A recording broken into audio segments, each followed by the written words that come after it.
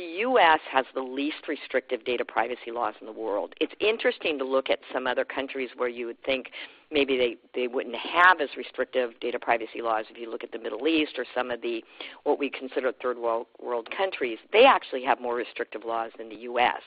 And part of that is just the fundamental constitutional beliefs that we have and the way our, our constitutions are built. In the U.S., it's it's freedom of information. Elsewhere in the world, it's that fundamental right to privacy. And so at the U.S. level, we have laws that are more industry specific and really pertain more to consumers unless you're looking at healthcare legislation.